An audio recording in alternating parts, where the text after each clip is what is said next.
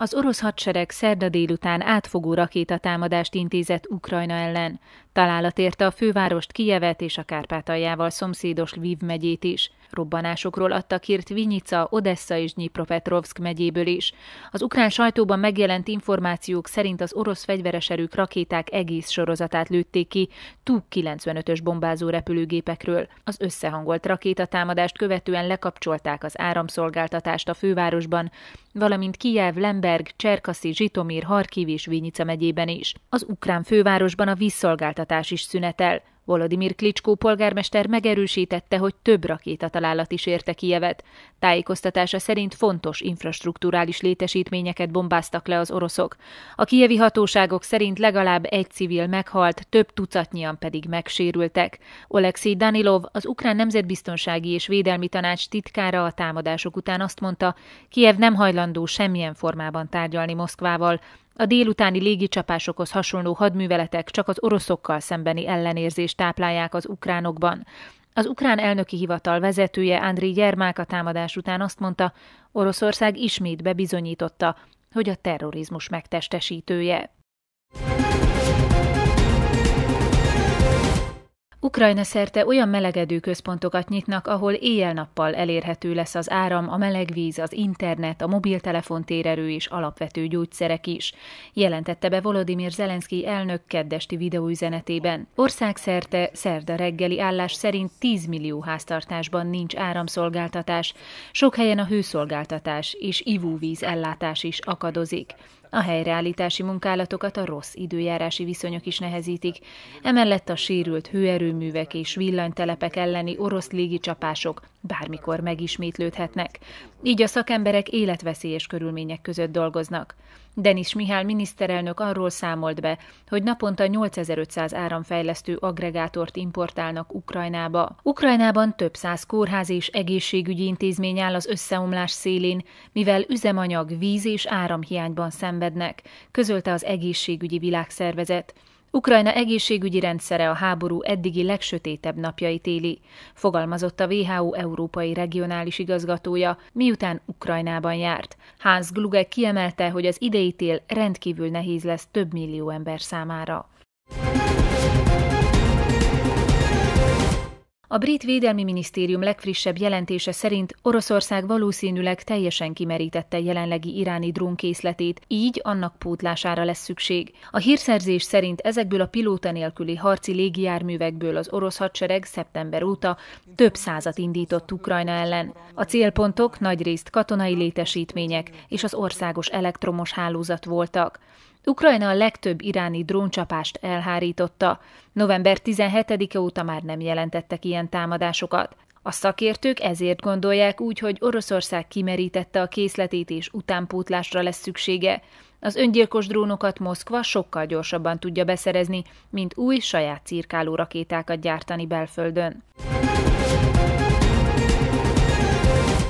Az orosz Wagner zsoldos hadsereg katonái és csecsen fegyveres egységek érkeztek a Donetsk megyei orosz megszállás alatt álló stratégiai jelentőségű Debalceva városába, közölte harctéri helyzet jelentésében az ukrán vezérkar.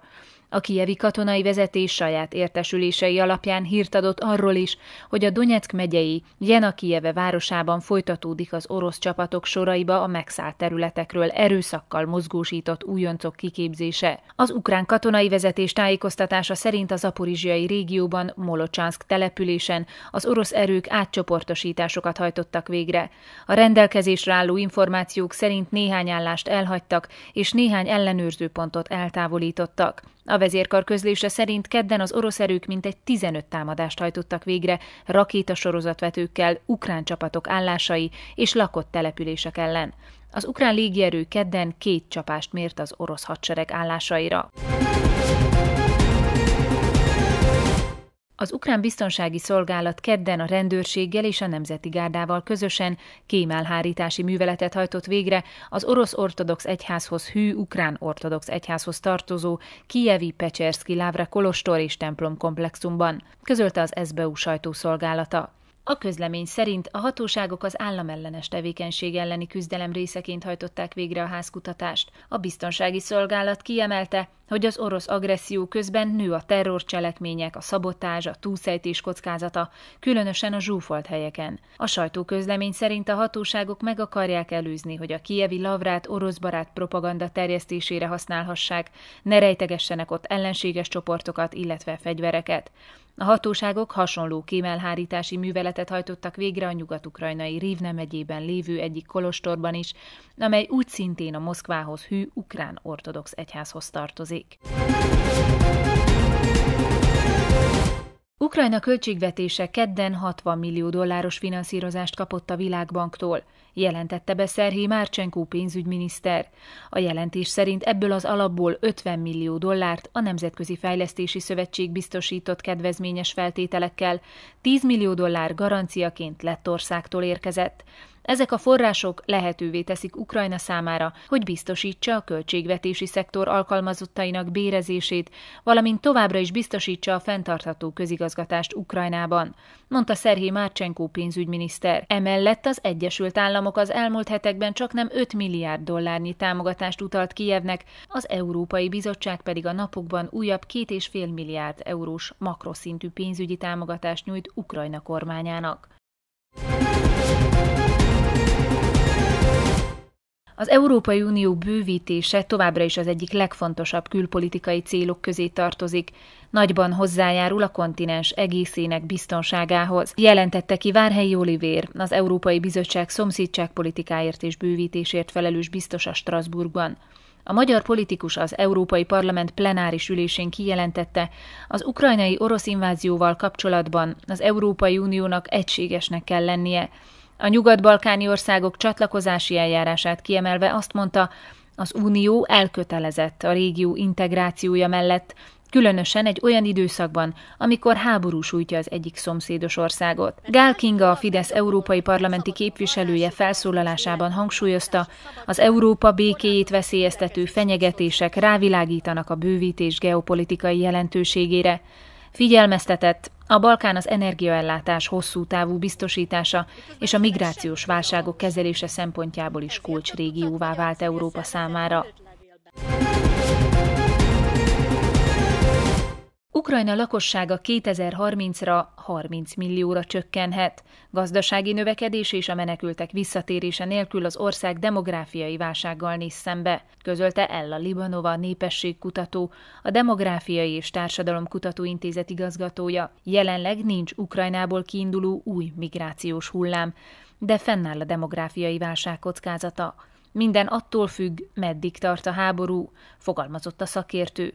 A Világbank adatai szerint Ukrajnában már 2020-ban is rendkívül alacsony volt a gyermekvállalási kedv. Szakértők szerint emiatt a népesség természetes növekedése lehetetlen, az előregedés pedig tovább nehezíti a gazdaság háború utáni fellendülését. Kievi közgazdászok szerint Ukrajnában szükség lesz egy nagyszabású menekült visszatérési programra, ami viszont gyorsan fejlődő gazdaság nélkül lehetetlen. Elemzők szerint az is gondot fog okozni 2030-ra, hogy az ország minden harmadik lakosa nyugdíjas korú lesz.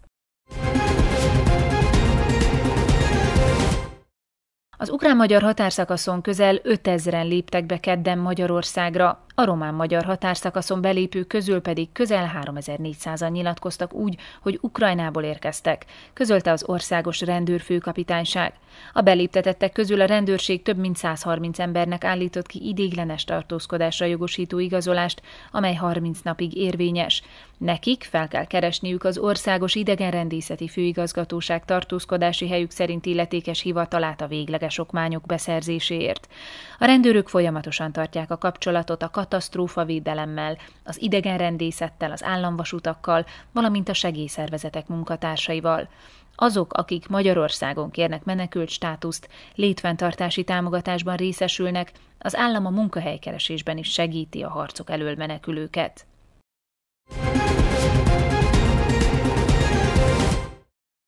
Перша складова інфраструктурна це ця ділянка дамби 9,5 кілометрів, про які ми вже сьогодні не раз згадували. A projekt részletes bemutatását követően került sor a Tekeháza és Tiszahetény közötti 9,5 kilométer hosszúságú felújított gát ünnepélyes átadására. Ezzel befejeződött a Királyháza és Tiszaújlak közötti árvízvédelmi szempontból stratégiai fontosságú 32 kilométeres töltés teljes rekonstrukciója. Az elmúlt 25 év áradásai hatalmas károkat okoztak az ukrán-magyar határ mindkét oldalán. A védőgát felújítása a Huskroá határon átnyúló együttműködési program, a határon átnyúló biztonság megerősítése a Tisza és a Túr folyók összefolyásánál, az árvíz és a belvíz kialakulásának megelőzését célzó közös intézkedésekkel. Elnevezésük közös ukrán-magyar infrastruktúrális projekt révén valósult meg. Ця дамба, яку ми зараз реконструювали, Ez a töltés korábban nem felelt meg a biztonsági előírásoknak. Ezért felújításra volt szükség, pontosabban meg kellett emelni a szintjét, hogy biztonságot nyújtson a környező települések számára, és infrastruktúrális fejlesztéseket is lehessen végrehajtani. A védőgát magassága átlagban másfél méterrel lett megemelve. Ez egy hosszú töltés, ezért részletekben lett felújítva. Így elmondhatjuk, hogy a Beregszászi járásban a Tisza balpartján lévő töltés felújítását befejeztük. Persze van még tennivaló. A Tisza jobb partján Badaló és Vári között a Borzsán is fel kell újítani a védőgátat, és még számos töltést Kárpátalja szerte. Örülünk, hogy ezt a rekonstrukciót el tudtuk végezni. A forrást az Európai Bizottság biztosította, az önrészt az állami költségvetésből utalták ki. Це важливий проект, який сьогодні е, був реалізований. Fontos projekt valósult meg, mert ez a lakosság és ingatlanjaik védelmét és biztonságát szolgálja. Emlékezzünk vissza, mekkora károkat okozott az 1998-as, 2001-es és 2020-as árvíz. És most már elmondhatjuk, hogy a Tisza folyó ezen szakasza biztonságos. A Kárpátalján felújított töltés nagymértékben megkönnyíti a magyarországi árvízvédelmi szakemberek munkáját, mondta Luidort Antal, a Felső Tisza vidéki vízügyi igazgatóság szatmári szakaszmérnökségének vezetője. Egyben hozzátette, a projekten belül számos fejlesztésre került sor, és bízik abban, hogy a jövőben is folytatódik a közös munka. Azt kell tudni, hogy az ukrajnai gátok az a mi munkákat is segíti, ha itt nincs probléma, szép, szép, szépen le tud vonulni a víz, akkor a bimunkás is sokkal könnyebb, nem kell védekezni, és elsősorban ez a gát azért épült, hogy az itteni lakosságot védje. Mi is végeztünk fejlesztéseket, ahogy említettem itt a megnyitó alkalmával. Építettünk egy 6,5 kilométeres koronaburkolatot a túr jobb partján. Csatornakotrásokat végeztünk majdnem 7 kilométer hozba, akkor elkészítettünk egy mikrohullám tornyot a Sonkádi Védelmi Központ gátörnel, ami biztosítsa a térségnek ott a, az információ áramlását védekezés során, meg a békeidőben is.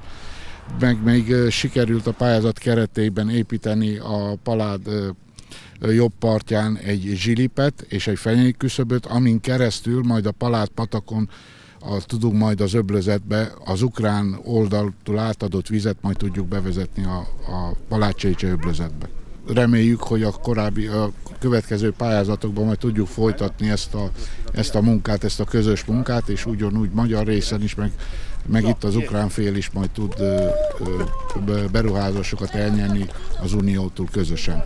Rezes Károly, a Beregszászi járási tanács elnöke elmondta. A térség szempontjából nagyon fontos projekt valósult meg, és bízik abban, hogy a jövőben újabb infrastruktúrális fejlesztések megvalósítására ad lehetőséget.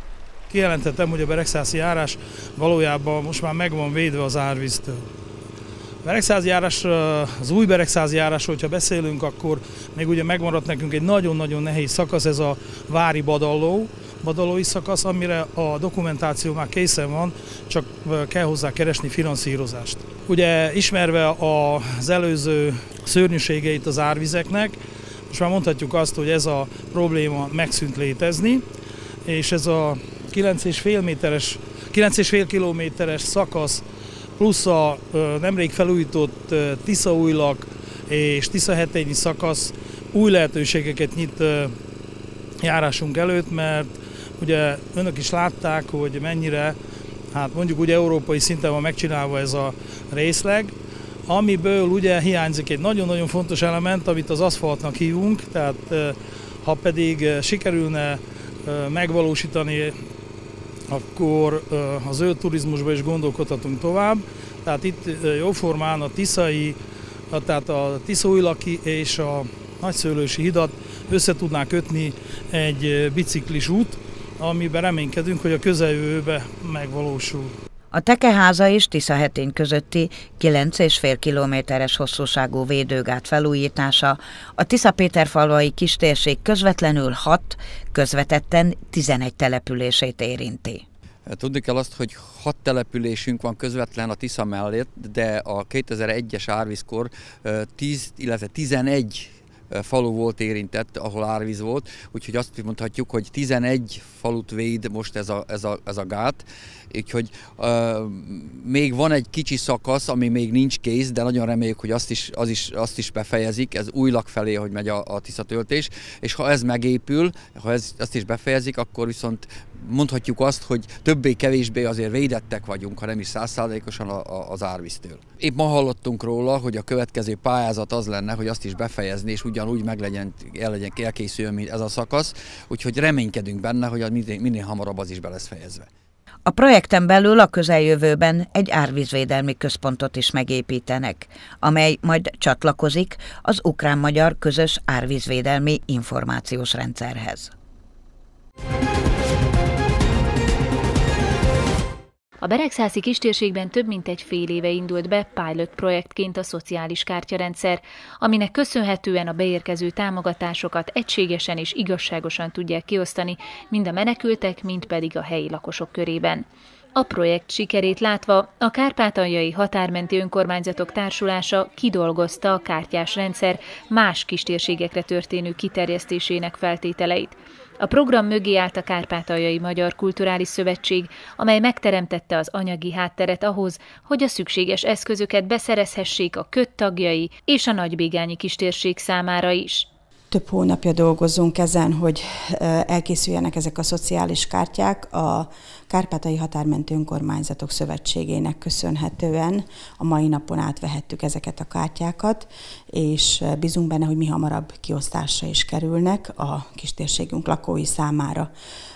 Ez egy nagyon nagy előrelépés, így tudunk segíteni kistérségünk lakosainak, és bízunk benne, hogy a karácsonyi ünneppel már egy ajándékot is tudunk számukra átadni segélyformájában. A kártyák elkészítését hosszas munka előzte meg annak érdekében, hogy minden arra jogosultnak biztosítsanak kistérségenként elegendő kártyát, illetve az ezek kezeléséhez szükséges leolvasó terminált is. Miután a Beregszászi Városi Önkormányzatnál sikeresen beindult és már sikeresen működik a szociális kártya rendszerprogram, akkor úgy döntöttük, hogy a határmentő önkormányzatok társulásának a tagságát képező önkormányzatok számára is kiszélesítjük ennek a programnak a működtetését, és a KMKS támogatásának köszönhetően sikerült most már e, elindítani a kártyarendszer telepítését a köttagságát képező önkormányzatokba. Mai a folyamán a Nagybégány önkormányzat számára adtuk át a szociális kártyákat,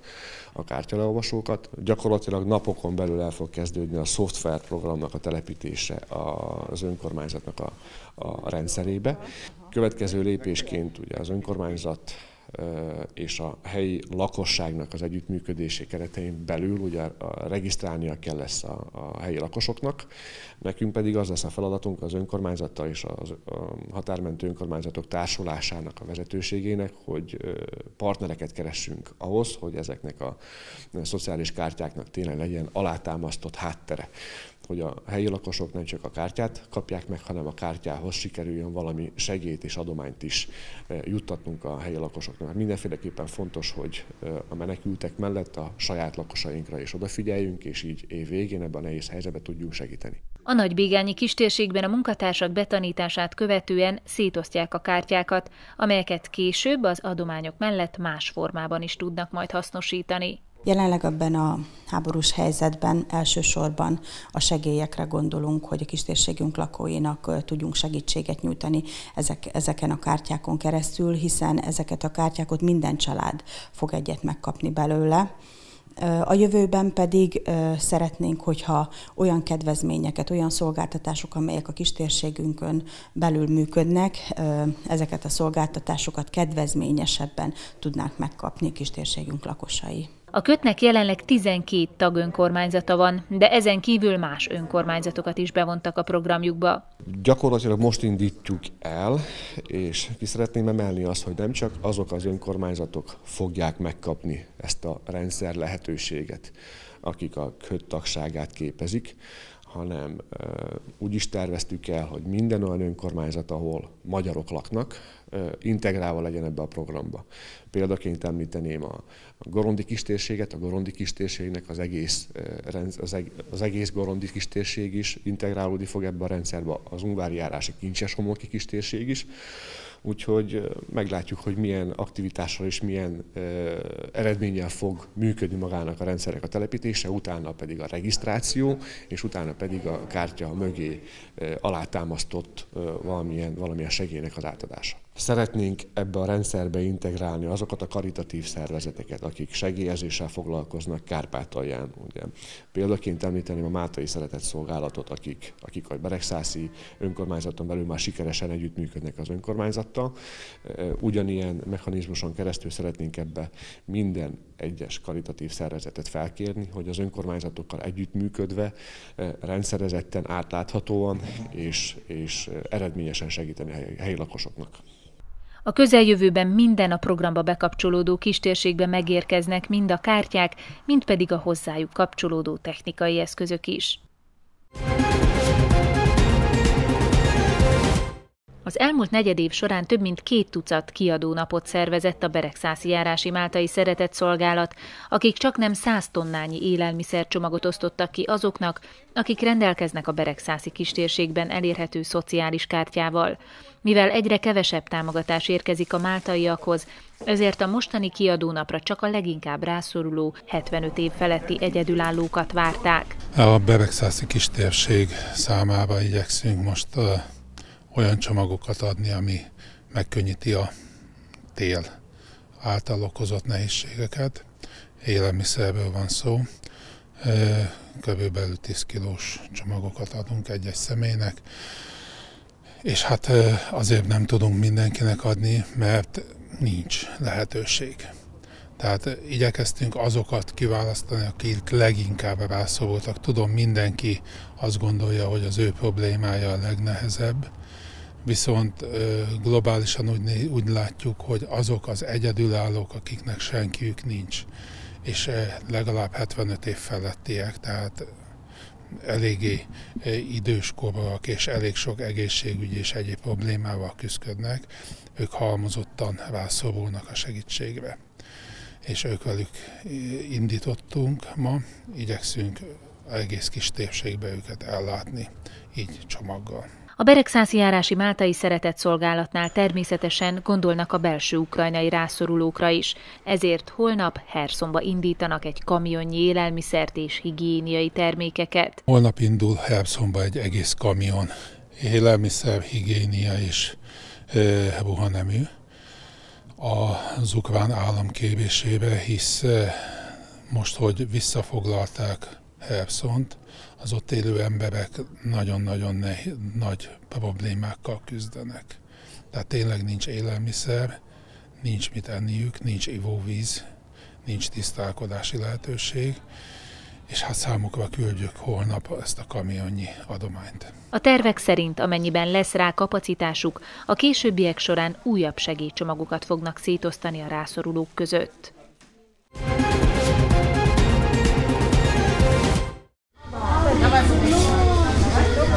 Gyermekzsivajtól hangos a Szojvai Ukrán Református Gyülekezet temploma.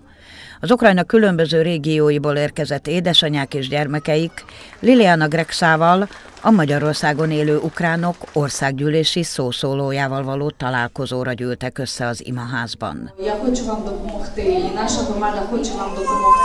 Az ukrán közösség parlamenti képviselője elmondta, példaértékű az az összefogás, amely a menekültek támogatására irányul. Én körülbelül hat éve voltam utoljára Ukrajnában, és nagyon örültem annak a lehetőségnek, hogy átjöhettem most legalább Kárpátaljáig. Szerettem volna a saját szememmel is látni, találkozni a belső ukrajnai menekültekkel, illetve azokkal az emberekkel, akikkel itt Kárpátalján segítenek ezeknek az embereknek. Szerintem példaértékű, és ez az összefogás is, ahogy különböző szervezetek együttműködnek, és különböző emberek együttműködnek annak érdekében, hogy segítsenek, és a, hogy ahogy most beszélgettem a menekültekkel, hát nem bírtam kisírás nélkül még a beszédemet sem, de annyira hálásak azért a segítségért, amit mi adunk, pedig ez azt gondolom, hogy a minimum ahhoz képest, amit ők átéltek már eddig. A szójvai ukrán református gyülekezet templomának ajtaja mindig nyitva áll a belső Ukrajnából, Kárpátaljára érkezett menekültek előtt. Vyacheslav Murza lelkipásztor és felesége Erika a háború kezdete óta mindent megtesz annak érdekében, hogy támogatást nyújtsanak a háború miatt lakóhelyüket elhagyni kényszerült anyáknak és gyermekeiknek. A lelkipásztor elmondta, havonta közel 500 belföldi menekültnek osztanak ki segélycsomagokat. Дуже багато діто, людей з діточками. Nagyon sok kisgyermekes anya él a régiónkban, akik jelenleg nem tudnak mindent biztosítani gyermekeiknek. Sokba kerül a bérleti díj, a rezsi. Igyekszünk támogatni őket élelmiszercsomagokkal és higiéniai termékekkel a gyerekek számára. Igazából nincs állandó támogatónk. Folyamatosan keressük őket, telefonálunk, vállalatokat és intézményeket keresünk fel. Persze hosszú távú partnerekre lenne szükségünk. Nap mint nap utazgatunk, pakolunk, tárgyalunk. Van, ahol higiéniai termékeket, van, ahol rist ajánlanak fel. A háború kezdete óta havonta közel 500 menekültnek biztosítunk élelmiszercsomagokat. Ezt a mennyiséget nem könnyű beszerezni, van, amikor mi vesszük meg azt, ami még hiányzik. De tudjuk, hogy nagy szükségük van rá. Például a pelenkák, a bébi étel nagyon drága, ezért igyekszünk ezeket is beszerezni. A rémnei születésű Vyacheslav Murza 20 évvel ezelőtt tanulmányait követően telepedett le Kárpátalján. Egyik vágya, hogy ebben a nehéz helyzetben az anyagi szükségletek megteremtésén kívül lelki támaszt is nyújtson a rászorulóknak. Насправді багато людей потребують якоїсь pszichológiai допомоги. Nagyon sokan szorulnak pszichológiai segítségre. Én nem vagyok szakember, pszichológus, és ezt nem tudom biztosítani számukra. Ugyanakkor azt szeretném, ha a templomunk olyan sziget lenne a menekültek számára, ahol nincs félelem, aggodalom, ahol meg tudnak nyugodni, hogy itt biztonságban érezzék magukat, és reményt kelthessünk bennük a jövőt illetően. A Szojvány és környékén élők zömében fiatal anyukák és gyermekeik a háború első napjaiban érkeztek Kárpátaljára. Sokan terhesen menekültek el a bombázások elől. Olesza Szumiból érkezett, kisfia már itt, Kárpátalján született. Ez a kisember még a pocsakomban volt, amikor megérkeztünk. Itt született, ő már kárpátaljai. Szojván bérlünk lakást, nagyon hálásak vagyunk a református egyháznak, hogy támogatnak minket. Minden kérdése, problémával Erikához fordulunk. Rendszeresen kapunk élelmiszercsomagot, tápszert, pelenkát. Bármikor és bármiben készen állnak segítséget nyújtani. Én terhesen kezdtem el ide járni. A legelső, amit kaptam, az a lelki támogatás volt. Nagyon jól esett. Hatalmas segítség volt. Ezen kívül élelmiszert, a pici számára szükséges dolgokat kaptam. De a legfontosabb a lelki támasz, amit kaptam, és a mai napig kapok. Nem egyszerű dolog háború idején terhesnek lenni, és az a segítség, amit itt kaptam, erőt és bátorságot adott. Maria Kievből érkezett. Bár már egyszer hazatért, a rakétatámadások miatt újra el kellett hagynia otthonát. Nagyon hálás a Murza házaspárnak a támogatásért. Nagyon köszönjük a református egyháznak, a Murza házaspárnak, Erikának és Szláviknak. Ők az egyetlenek, akik segítséget nyújtanak. Itt létünk első percétől fogva mostanáig. Számos jótékonysági szervezetnek elfogytak a forrásai, de a református egyház rendszeresen segít. Miután megérkeztünk, kaptunk élelmiszercsomagot, higiéniai termékeket. Láttam, hogy a pici gyermekek számára is biztosították a legszükségesebbet. Segítik a fogyatékkal élőket és a nyugdíjasokat is. Ruhaneműt is osztottak. Hálásak vagyunk mindenért. Vyacheslav Murza lelkipásztor és felesége Erika szerényen csak annyit mondanak. Mi csak szolgálunk, tesszük a dolgunkat. Elmondták, hogy már a karácsonyi segélyadományok kiosztását tervezik, és szívesen fogadják a segíteni vágyók adományait.